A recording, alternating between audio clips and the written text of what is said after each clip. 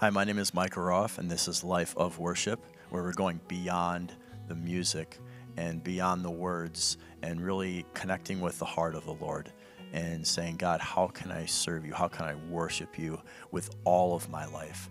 And so I've been going over the last couple weeks, I've been going over um, just kind of Eden. And when Jesus died on the cross, he brought us back to Eden.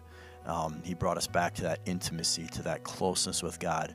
And I'm just kind of diving into the different things that are ours now because of what Jesus did. And so one of those things is work. Uh, let me blow your mind just for a moment here, if I can. In God's original plan, work is enjoyable. Just let that sink in for a second. Work is enjoyable. Okay? If you look at Genesis 2:15, this is before the fall. The Lord God took the man and put him in the Garden of Eden to work it and to keep it. And so this is God living in perfect harmony with man. And he is um, giving the man work to do. And the man is not sitting there complaining about it. He's not saying, "Oh God, you're a terrible boss," but there is actually there's a harmony that's going on here where they're doing their work together, and it is an enjoyable thing. And so, my challenge is really that we embrace the attitude of a good work ethic.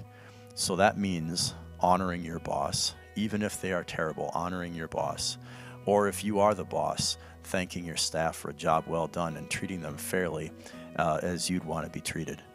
And for all of us, it is really just to be thankful for our job and to not complain. So, for me, work is not always, and it hasn't always been enjoyable. And when I first got out of high school and I started working, I actually kind of embraced kind of this bad attitude. And I realized that that bad attitude was not honoring to God.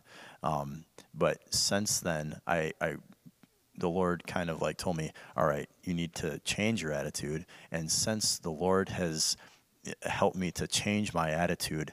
I have embraced being thankful and working hard to do my best for the Lord. My attitude has changed, and I've actually found enjoyment in my work.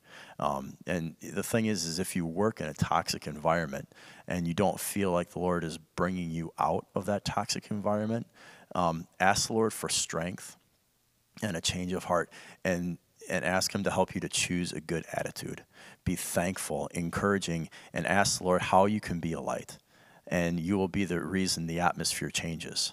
I guarantee that. Even if it's on that small level and it's just the area that you're working in, the atmosphere will start to change if you if you choose just to be thankful and thanking God for the job that you have.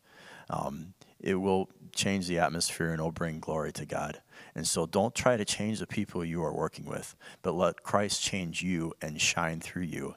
And then you will be the influencer in your work area. And kids and young adults and or anyone else who is in school, this applies to you too. Embrace a good attitude and work ethic at school. This doesn't mean you can't have fun. All right. I, I think that that's the thing is like we think if we have to work, then we can't have fun. But I think as you're enjoying your work, um, the truth of the matter is, is we all um, are very satisfied with a job well done. And it really helps us to live our life to the fullness because when we're living our lives to glorify God, His blessings just pour into us. So whatever you do, do it with all of your heart and do it for the glory of God. Don't do it for this person or that person, and don't even do it for yourself. Do it for the glory of God.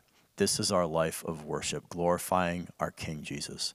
Jesus opened the door to Eden, but we still live in a fallen world. So these are things that we have to fight for. These are things that we have to grow into. And so my prayer is that we are able to fight for them together and grow into them together. So God bless, and I just thank you for your time.